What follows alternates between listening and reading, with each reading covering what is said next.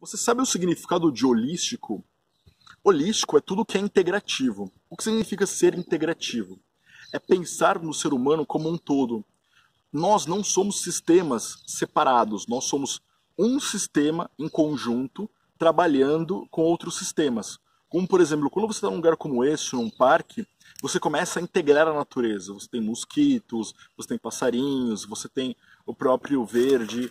É, e nós viemos de lugares como este, né? A gente está muito acostumado a pensar que a gente está num sistema que é a cidade, por exemplo. Mas a cidade é um sistema criado por nossa mente consciente. A nossa mente subliminar, a nossa essência e até o nosso aprendizado, a maneira como nós trabalhamos organicamente, depende muito da Terra. Nossos alimentos vêm da Terra. A gente está num planeta Terra, num planeta natureza, não exatamente num planeta sobre o pensamento humano. E nesse ponto, que é a hipnose holística, que eu trabalho com ela. É um ponto que a gente está integrado num ecossistema. Eu sei que nós temos a nossa vida que é completamente associada a lugares, a pessoas, a coisas virtuais como a internet, a lugares virtuais, a experiências virtuais. Porém, a gente necessita, a gente precisa, e a gente sente falta dessa experiência natural, dessa experiência mais harmônica, dessa experiência de vida que pode ser muito mais integrativa. E um detalhe que a gente sempre tem quando a gente trabalha com a nossa mente é trabalhar muito dentro da nossa mente. O que eu quero dizer com relação a isso? Muitas coisas que acontecem, que acontecem à nossa volta, apenas nós estamos preocupados com ela. Já parou para pensar? Exemplo, quando você fala assim, o mundo todo está contra mim. Nada quer que eu aconteça de uma maneira plena.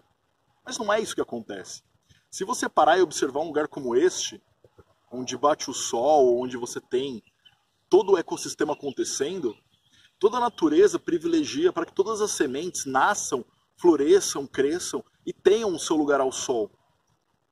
E a gente está muito preocupado, às vezes, com o outro, com alguma coisa que não vai nos fazer bem, mas a gente para de pensar e para de se preocupar exatamente com o que nós estamos nos fazendo bem, o quanto nós podemos nos fazer bem, e o quanto nós podemos nos integrar a esse movimento que é natural, que é normal, que é desse planeta, que é de crescimento, que é de entregar resultado, entregar valor. E é nesse ponto, na hipnose holística, Agora, eu tenho uma pergunta muito importante para você. Qual é o valor que você deseja passar para as pessoas? Este valor é o que vai dizer a sua missão. E a sua missão, assim como na hipnose holística, ela depende de outras pessoas, de outros elementos.